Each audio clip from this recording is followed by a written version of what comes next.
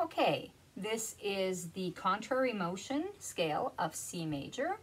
You're going to use the same fingers in both hands and you're going to work in at the same time and you're going to work in groups of three and four. We're only doing one octave, so we're just doing one octave in either direction and we're returning back with the same fingers on the same keys.